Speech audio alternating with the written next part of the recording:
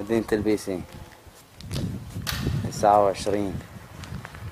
سبعة ألفين واثناش آثار الدوار. جراء القصف العنيف.